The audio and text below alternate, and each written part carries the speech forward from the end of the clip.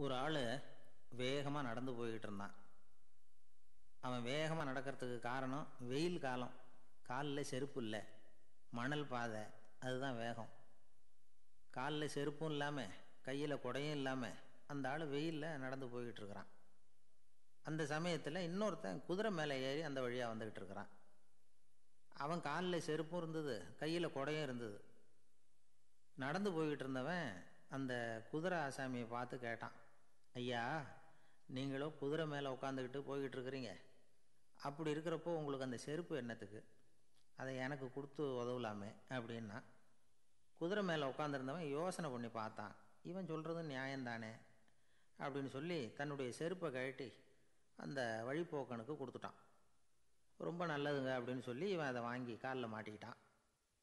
அதுக்கப்புறம் மறுபடியும் இவன் ஆரம்பித்தான் ஐயா நீங்கள் வந்து குதிரையில் போகிறதுனால போக வேண்டிய இடத்துக்கு வேகமாக போய் சேர்ந்துருவீங்க.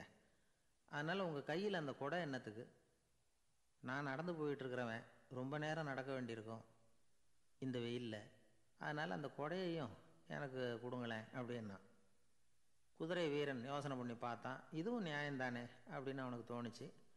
உடனே இறக்கப்பட்டு தன் காலில் இருந்த செருப்பை கொடுத்தது மாதிரியே தன் கையில் இருந்த கொடையையும் இவங்கிட்ட கொடுத்துட்டான். அதுக்கப்புறம் அவன் நிம்மதியாக புறப்பட்டான். இப்போ மறுபடியும் கை தட்டி அவனை நிறுத்தினான். கீழே நின்றுட்டு இருந்தவன் என்னப்பா ஏன் என்னை நிறுத்தினேன் இன்னும் ஏதாவது வேணுமா உனக்கு? அப்படின்னா குதிரையில் இருந்தவன். இவன் மெதுவாக வாயை திறந்து அந்த குதிரையையும் என்கிட்ட கொடுத்துருங்களேன்னா அந்த குதிரை வீரன் இப்போ ஒரு கணம் யோசனை பண்ணி பார்த்தான். உடனே என்ன பண்ணான் தெரியுமா? தன்கிட்ட இருந்த குதிரை சவுக்கை எடுத்தான். குதிரை சவுக்கால் அந்த ஆளை வாங்குவாங்கன்னு வீசி தள்ளிவிட்டான். இவ்வளவு சவுக்கடியும் வாங்கிக்கிட்டு இந்த ஆள் என்ன பண்ணான் தெரியுமா? சிரிக்கிறான். அடி வாங்கிட்டு யாராவது சிரிப்பாங்களா? குதிரை வீரனுக்கு ஒன்றும் புரியல. என்னப்பா அது? ஏன் இப்படி அடி வாங்கிட்டு இப்படி சிரிக்கிறியே? அப்படின்னு கேட்டான். இப்போ அந்த வழிப்போக்கம் சொல்கிறான் ஐயா நான் இப்படி சிரிக்கிறதுக்கு காரணம் இருக்குது இப்படி குதிரை கேட்டு உங்ககிட்ட அடி வாங்கலைன்னு வச்சுக்கோங்க. என் உயிர் உள்ள வரைக்கும் மனசில் ஒரு தவிப்பு இருந்துக்கிட்டே இருக்கும். செருப்பையும் கொடையையும் கேட்ட உடனே கொடுத்தவன் குதிரையையும் கேட்டிருந்தா கொடுத்துருப்பானோ? அப்படிங்கிற பேராசையில் ஏங்கிக்கிட்டே இருந்திருப்பேன்.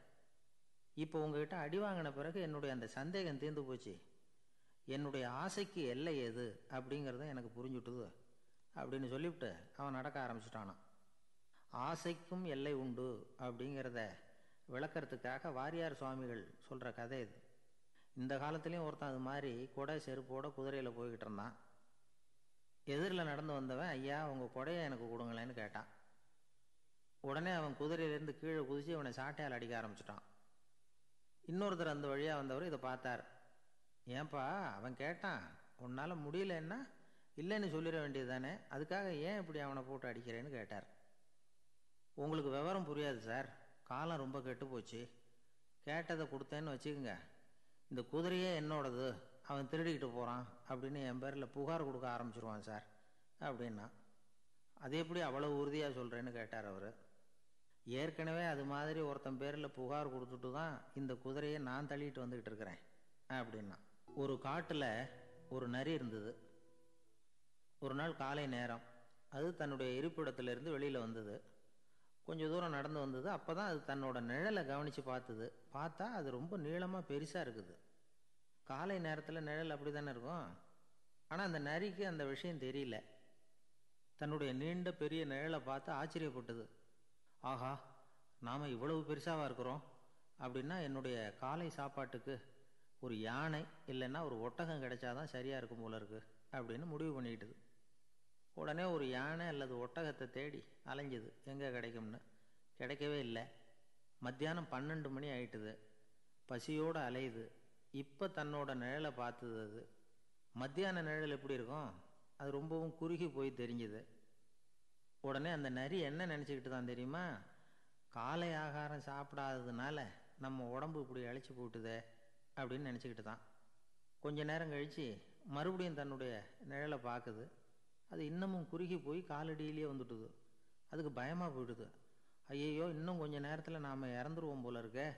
இப்போ என்ன செய்கிறது இந்த சமயத்தில் ஒரு எறும்பு கிடைச்சா கூட போதும். அதை வந்து நம்ம காலை ஆகாரமாக நினச்சி சாப்பிட்டுள்ளாமே அப்படின்னு நினச்சி தான் நம்முடைய நிழல் கூட நம்மளை மாதிரியே தான் அடிக்கடி மாறிக்கிட்டே தான் இருக்குது. அது எப்பவும் ஒரே மாதிரி இருக்கிறது இல்லை மனிதனுக்கு ஏற்படுகிற தன் முனைப்பு இருக்கு பாருங்க ஈகோ. அது கூட ஒரு நிழல் மாதிரி தானா அப்படி நினைக்க ஆரம்பிச்சுட்டா அதனால் ஏதும் பிரச்சனை வராதான். தன்முனைப்பை வந்து நிழல் போலவே ஏற்றுக்கொள்ளுங்கள். அப்படிங்கிறது பெரியவங்க கருத்து. ஒரு காரியத்தை வெற்றிகரமாக நல்ல விதமாக செஞ்சு முடிக்கிறோம்னு வச்சுக்கோங்க. அந்த சமயத்தில் ஒரு வித நுட்பமான தற்பெருமை நமக்குள்ளே உண்டாகுது. இது இயற்கையானது. அதனால் இது மேலே பற்று வைக்கக்கூடாது அப்படி வைக்க ஆரம்பிச்சுட்டா அந்த தற்பெருமை ஒரு நிரந்தர விருந்தாளியாக நம்மக்கிட்ட தங்கிக்கும். நம்ம நிழல் எப்படின்னு பாருங்கள் நாம் நடக்கும் பொழுது நம்ம பின்னாடியே வரும். தன்முனைப்பையும் அப்படியே நினச்சிக்கோங்க. நிழல் வந்து யாருக்கும் எந்த பிரச்சனையையும் உண்டாக்குறது இல்லை ஆனால் அந்த நிழலை கண்டே நாம் பயப்பட ஆரம்பிச்சுட்டா நாம் எதுலேயும் வெற்றி காண முடியாது. நிழலோட சண்டை போடக்கூடாது. அது மாதிரி தன் முனைப்போடவும் நாம் வந்து சண்டை போட வேண்டியதில்லை. இல்லாத ஒன்றோடு சண்டை போடுறது எப்படின்னா அது இருட்டோட சண்டை போடுறது மாதிரி. நாம் வந்து நிழல் கிடையாது. நம்மக்கிட்ட இருக்கிற தன்முனைப்பு ஒரு நிழல். நம்ம நிழலையும் நமக்கு சமமாக பார்க்குறோம் பாருங்க அங்கே தான் சிக்கலே ஆரம்பம். இப்போ நாம் நடந்து போய்கிட்டு இருக்கிறோம் நம்ம நிழல் வந்து தரையில் விழுது. யாரோ ஒருத்தர் நம்ம நிழல் மேலே காலை வச்சு நடந்து போகிறார் உடனே அவர்கிட்ட சண்டைக்கா போகிறோம் ஏண்டா என் நிழலை மிதிச்ச? அப்படின்னு நமக்கு தெரியும். அது நிழல் தாங்கிறது. அவர் உங்கள் மேலே நடக்கலை. உங்களுடைய நிழல் மேலே தான் நடக்கிறார். அது மாதிரி உங்கள் தன்முனைப்பின் மேலே யாராவது நடந்தால் உங்களை அவமானப்படுத்துகிறதா நினைக்கிறீங்க. காரணம் நாமளும் நம்ம தன்முனைப்பும் ஒன்றுங்கிற நினைப்பு தான் காரணம். மற்றபடி வேற ஒன்றும் கிடையாது. நம்ம நிழல் மேலே நடக்கிறவர் நம்மளை காயப்படுத்துறதில்ல. தன்முனைப்பை வேண்டாத ஒன்றாவும் பார்க்க வேண்டியதில்லை. அது வந்து இயற்கை. நிழலை வந்து உங்கள் முன்னாடி வைக்க வேணாம். அது உங்கள் பின்னாடியே இருக்கட்டும். நிழலின் நிழலாகி விடாதீர்கள். நீங்கள் நீங்களாகவே இருங்கள். இதுதான் சான்றோர் சிந்தனை. ஒரு பேருந்தில் ஒரே நெரிசல். ஒருத்தர் பக்கத்தில் நின்றுக்கிட்டு இருந்தவர்கிட்ட ரொம்ப பணிவாக விசாரித்தார் ஏன் சார்? நீங்கள் ஏதாவது பெரிய உத்தியோகத்தில் இருக்கிறீங்களா? அப்படின்னார். அப்படிலாம் ஒன்றும் இல்லைங்கன்னார் அவர். அப்படின்னா வேறு ஏதாவது அரசியலில் பெரிய பதவியில் இருக்கிறீங்களா? அப்படின்னு கேட்டார். அதுவும் இல்லைங்கன்னார் சரி பணமாவது அதிகமாக வச்சுருக்கீங்களா? அப்படின்னு கேட்டார். அப்படிலாம் ஒன்றும் கிடையாது சார்னார் அவர். அப்புறம் எதுக்குடா என் காலை மிதிச்சுக்கிட்டு இருக்கிற? இடரா காலை அப்படின்னாராம் இவர். ஒரு ரயில் வேகமாக போயிட்டுருக்கு. அது ஒரு ரயில்வே ஸ்டேஷனில் கொஞ்சம் நேரம் நின்றுது அப்போது அதில் ஒரு ஆள் ஏறினார். தலையில் ஒரு மூட்டையை வச்சுருந்தார். மூட்டையை தலையில் சுமந்துக்கிட்டே உள்ளே வந்தார். மூட்டையை தலையில் சுமந்துக்கிட்டே ஒரு இடத்துல உட்காந்தார் ரயில் மறுபடியும் புறப்பட்டுது. இவர் தன் தலையில் இருந்த மூட்டையை கீழே இறக்கி வைக்கணும்ல? வைக்கல. சுமந்துக்கிட்டே வரார். எதிரில் உட்காந்துருந்தவர் கேட்டார் ஏங்க ஏன் இப்படியே உட்காந்துருக்குறீங்க தலையில் மூட்டையை வச்சுக்கிட்டு. மூட்டையை கீழே இறக்கி வைக்கலாமே அப்படின்னார். வேணாங்க பாவம். தலையில் இருக்கிற மூட்டையை இறக்கி ரயிலில் வச்சா ரயிலுக்கு பாரம் அதிகமாக இருக்கும் அப்படின்னார் அவர். இப்படி ஒரு ஆளை பார்த்தா நமக்கு சிரிப்பு தான் வரும். ஏன்னா ரயிலுங்கிறது அந்த மூட்டையையும் சேர்த்து சுமந்துக்கிட்டு தான் போகுது. அவன் அந்த மூட்டையை தலையில் வச்சுருந்தாலும் ஒன்று தான் தரையில் வச்சுருந்தாலும் ஒன்று தான் அதனால் ரயிலுக்கு எந்த மாற்றமும் ஏற்பட போகிறதில்ல அதே மாதிரி தான் நம்ம மனமும். இதுவும் ஒரு தேவையில்லாத சுமை. அனாவசியமாக சுமந்துக்கிட்டு இருக்கிறோம். இதை கீழே இறக்கி வச்சுட்டா வாழ்க்கை பிரயாணம் சுகமாக இருக்கும். ரயில் பிரயாணம் பண்ணுற அந்த ஆள் மூட்டையை சுமக்கிறான். வாழ்க்கை பிரயாணம் பண்ணுற நாம மனசை சுமக்கிறோம். இது ரெண்டுக்கும் எந்த வித்தியாசமும் இல்லை. மனசை கீழே இறக்கி வச்சுட்டா பாரம் இல்லாமல் வாழலாம். பறவைகள் மாதிரி பறக்கலாம். குழந்தைகள் மாதிரி கள்ளங்கபடம் இல்லாமல் வாழலாம். இந்த வெளி உலகத்தில் நாம் நிலை பெற்று இருக்கணும் வேரூன்றி இருக்கணும்.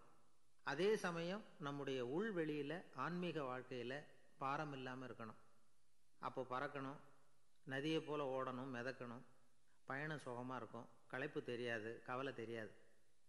ஒரு சீடன் போதி தர்மரை நாடி வந்தான். குருவே நீங்கள் வந்து என்ன வெறுமையாக இருக்க சொன்னீங்க. நான் இப்போ மறுபடியும் வெறுமையானவன் ஆகிட்டேன். அதனால் வந்து இப்போ என்ன செய்ய சொல்கிறீங்க என்ன? அப்படின்னு சொல்லி வந்து நின்னான்.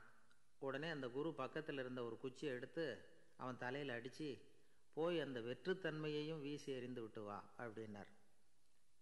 நான் இப்போ காலியாக இருக்கிறேன்னு ஒருத்தன் சொல்கிறான்னு வச்சுங்க அது உண்மை இல்லை. ஏன்னா இன்னமும் அதில் நான்கிற எண்ணம் இருக்குது. எந்த சிந்தனையும் இல்லாமல் இருக்கிறது கடினம்தான். ஆனாலும் மனிதன் வந்து அதில் உள்ள நுட்பத்தை புரிஞ்சுக்கிட்டான்னா இவ்வளவு தூரம் தூக்கி சுமந்துக்கிட்டு வந்த அந்த மனதின் முட்டாள்தனத்தை அவனே பார்த்துட்டு சிரிப்பான். இதுதான் பெரியவங்க சொல்லியிருக்கிற ஆலோசனை. நம்மால் ஒருத்தன் தலையில் ஒரு பெரிய மூங்கில் கூடையோடு ரயிலில் வந்து உட்காந்தான் கூடை தலையில் இருந்தது கீழே இறக்கி வைக்கல. எதிரில் இருந்தவர் கேட்டார் ஏங்க எதுக்காக அதை அனாவசியமாக சுமந்துக்கிட்டே இருக்கீங்க? கீழே இறக்கி வைங்களேன்னார். இல்லைங்க நான் வீட்டை விட்டு புறப்படும் பொழுதே என் பையன் சொல்லிவிட்டான் கூடையை தலையை விட்டு இறக்கக்கூடாதுன்னு அப்படின்னார். அவன் சின்ன பையன் விவரம் இல்லாமல் சொல்லியிருப்பான் இப்போ என்ன நேரில் வந்தால் பார்த்துக்கிட்டு இருக்கிறான் நீங்கள் இறக்கி வைங்கன்னார் அவர். அவன் நேரில் பார்த்துக்கிட்டு இல்லை. இருந்தாலும் நான் இந்த கூடையை கீழே இறக்கி வச்சா அது அவனுக்கு தெரிஞ்சிடும் அப்படின்னாரு இவர். அது எப்படின்னார் அவர்? அவன் தனக்கு டிக்கெட் வாங்க வேணாம்னு சொல்லி இப்போ இந்த கூடைக்குள்ளே தான் உட்காந்துருக்கிறான் அப்படின்னார் இவர். ஒரு ஊரில் ஒரு மன்னர் இருந்தார். அழகான அரண்மனையில் அவர் இருந்தார். அந்த அரண்மனையை விட அழகாக ஒரு மாளிகையை அந்த ஊர்லேயே வேற ஒருத்தன் கட்டியிருந்தான். அப்படி கட்டி முடித்ததில் அவனுக்கு ரொம்ப பெருமை. எத்தனையோ செல்வந்தர்கள்லாம் வந்து பார்த்துட்டு இந்த மாளிகையை விலைக்கு கொடுத்துட்றியா? எவ்வளவு விலை சொன்னாலும் சரி நாங்கள் வாங்கிக்கிறதுக்கு தயாராக இருக்கோம். அப்படின்னு சொல்லி கேட்டு பார்த்துட்டாங்க. நான் இதை விற்கிறதுக்கு தயாராக இல்லை அப்படின்னு சொல்லிவிட்டான். அவ்வளவு சிறப்பாக கலை அம்சத்தோடு அதை கட்டி முடிச்சிருக்கிறான். அதுவே ஒரு பெரிய அரண்மனை மாதிரி இருந்ததுன்னா பார்த்துங்களேன். சுற்றிலும் அழகான பூந்தோட்டம். ஒரு நாள் அவன் எங்கேயோ வெளியூர் போயிட்டு திரும்பி வந்துக்கிட்டு இருக்கிறான். அப்போது அந்த மாளிகை தீப்பெற்றி எரிஞ்சிக்கிட்டு இருக்கு. பதறி போட்டான். விலைக்கு கேட்டவங்க யாராவது இதை செஞ்சுருக்கணும்? இல்லைன்னா மன்னரே செய்த சதியோ என்னவோ இப்படிலாம் அவனுக்கு சந்தேகம். ஒரு மூலையில் உட்காந்து அழ ஆரம்பிச்சிட்டான். அந்த சமயத்தில் அவனுடைய மகன் அங்கே ஓடி வந்தான். அப்பா அழாதீங்க. இதை நான் நேற்று ராத்திரியே நம்ம ஊர் மன்னருக்கு விற்றுட்டேன் இதை கட்டி முடிக்க நமக்கு எவ்வளவு செலவாச்சோ அதை போல் மூன்று மடங்கு விலைக்கு விற்றுட்டேன் கவலைப்படாதீங்க. இதை விட அழகான மாளிகையை நாம் புதுசாக கட்டிக்கலாம்னா. இதை கேட்டதும் அழுதுகிட்டு இருந்தவன் அழுகையை நிறுத்தினான் சிரிக்க ஆரம்பிச்சிட்டான். இதே இடத்த நான் வந்து மன்னர்கிட்ட இருந்து விலைக்கு வாங்குவேன். இதை விட அழகான மாளிகையை கட்டுவேன் அப்படின்னு சுற்றி நின்று எல்லார்கிட்டையும் சொல்லிக்கிட்டு இருந்தான். இந்த சமயத்தில் அவனோட இளைய மகன் ஓடி வந்தான். அப்பா அண்ணன் சொன்னதெல்லாம் சரிதான். மன்னர்கிட்ட விலை பேசினதெல்லாம் உண்மைதான். ஆனால் விற்றது பேச்சு அளவில் தான். இனிமே தான் பத்திரம் வாங்கணும் எழுதணும். நீங்கள் கையெழுத்து போடணும் பதிவு பண்ணணும். மன்னர்கிட்ட பணம் வாங்கணும். அதுக்காகத்தான் உங்களை எதிர்பார்த்துக்கிட்டு இருந்தோம். அதுக்குள்ளே இப்படி ஆயிட்டுதுன்னா. இப்போ சிரிச்சுக்கிட்டு இருந்தவன் சிரிப்பை நிறுத்தினான் மறுபடியும் குழந்த மாதிரி அழ ஆரம்பிச்சிட்டான். இது ஒரு சம்பவம். இதிலிருந்து என்ன தெரியுது? அந்த அழகான மாளிகை தன்னுடையது அப்படின்னு நினைக்கும் பொழுது அவனுக்கு அழுகை வந்தது. அது தன்னுடையது இல்லை அப்படின்னு நினைக்கிற போது சிரிப்பு வந்தது. மறுபடியும் அது தன்னுடையது தான் அப்படிங்கிற உணர்வு வரும்பொழுது அழுகை. எது எதிலிருந்து நீ நீங்கி இருக்கிறாயோ அது அதிலிருந்து உனக்கு துன்பம் இல்லை அப்படிங்கிறார் திருவள்ளுவர். இந்த உடம்பு என்னுடையதில்லை அப்படிங்கிற உணர்வு வந்துட்டா அது ஒரு பெரிய நிலை. அந்த நிலை வந்து வரணும். எல்லாத்தையும் பயன்படுத்திக்கலாம். ஆனால் பற்றில் விழுந்துடக்கூடாது. உலகத்தில் இருங்கள் ஆனால் உலகத்தவராக இருக்காதீர்கள். உலகிற்குள் இருங்கள் உலகம் உங்களுக்குள் வந்துவிட அனுமதிக்காதீர்கள். விலகி இருங்கள் விழித்திருங்கள் மௌனமாய் பார்த்திருங்கள் அப்படிங்கிறது சான்றோர் கருத்து. செய்ய வேண்டிய கடமையிலிருந்து விலகி இருக்கிறவர்கள் நம்மக்கிட்ட நிறைய பேர் உண்டு. அப்படிப்பட்ட ஒருத்தர் டாக்டர்கிட்ட போனார். டாக்டர் நான் ஒரு கவர்மெண்ட் ஆஃபீஸில் வேலை பார்க்குறேன். எனக்கு ஒரே அசதியாக இருக்குது என்னை சோதிச்சு பாருங்கள் ஆலோசனை சொல்லுங்கள் ஏதாவதுன்னார். டாக்டர் அவரை பரிசோதனை பண்ணி பார்த்துட்டு சொன்னார். இதை பாரு உனக்கு இப்போ தேவைப்படுறது முழு ஓய்வு. நீ எவ்வளவு சீக்கிரமாக ஆஃபீஸுக்கு போறியோ அவ்வளவுக்கு உனக்கு நல்லது. அப்படின்னாராம். எனக்கு தெரிஞ்ச ஒருத்தர் இருக்கார். அவர் ஒரு பெரிய காவல்துறை அதிகாரி. ரொம்ப கண்டிப்பானவர். அவரை கண்டாவே எல்லாரும் பயப்படுவாங்க. அப்படிப்பட்டவர் வீட்டுக்கு போனால் அப்படியே அடியோடு மாறிடுவார். அங்கே போய் பார்த்தீங்கன்னா குழந்தைகளோட குழந்தையாக அவர் விளையாடிக்கிட்டு இருப்பார். அலுவலக சமயத்தில் பார்த்தீங்கன்னா குதிரை முதுகில் அவர் உட்காந்துருப்பார் வீட்டில் பார்த்தீங்கன்னா அவர் முதுகில் குழந்தை உட்காந்துருக்கும் அவர் குதிரை மாதிரி போயிட்டு இருப்பார்.